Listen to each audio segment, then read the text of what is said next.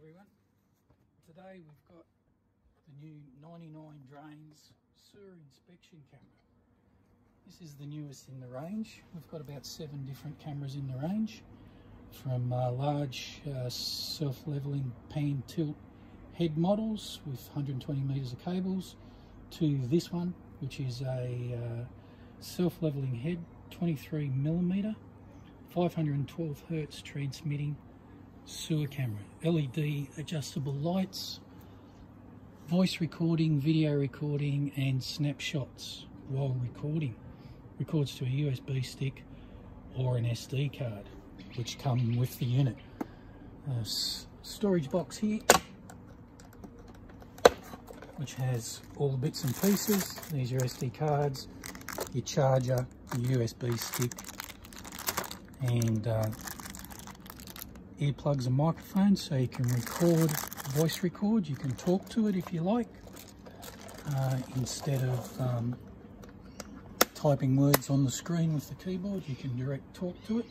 So what we'll do here is just adjust that. Up comes the screen. That's your sunshade. Now, once we get sunshade adjusted, we can lift the screen up, pull the keyboard out. If you don't want to use the keyboard, just leave it in the position it was in. If you do want to use it, pull it out. Okay, we're ready to go. Now there's a uh, tensioner on the back which can adjust the tension of the reel as it comes in and out. What we'll do here is we'll turn it on. Three seconds, hold the button. Power's on, lights are on, okay lights are on here. So we have the head and out she comes. And we've got 30 meters of cable so we can send that down. Get the job done.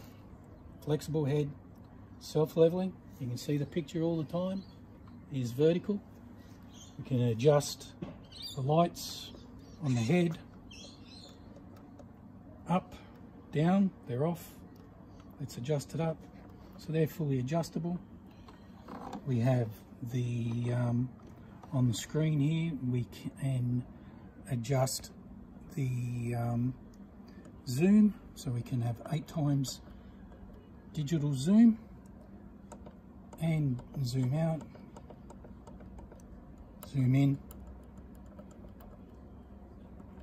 digital zoom. We can record here if we want by pressing the record button. We can take snapshots here. With the snapshot button, we can adjust the lights as we said, and then we've got other functions there for recording the whole thing. Um, now it's pretty easy to use. You can see it's modern, very lightweight, but robust at the same time. The cable here is 6.2 millimeter cable. So you've got enough stiffness to get it down the pipe a fair way, but also a fair bit of flexibility. You can see the flexibility there. So there's quite a bit of flexibility in it, um, but a robust cable all at the same time. As I said before, totally self-leveling. We'll just tighten the tensioner up here on the back to hold it in position. So whatever we do, that picture stays upright fully adjustable. Once we've done the job, we'll turn it off, lift the screen, replace the keyboard, bring the screen back down, take that back in, and then we just pop our cover on here, and it is ready to go. Now it can be used in flat position like that. So you can pull your cable in and out from this position or vertically the way we had it a moment ago. That's it. Nice and lightweight. All done. Ready for the next job.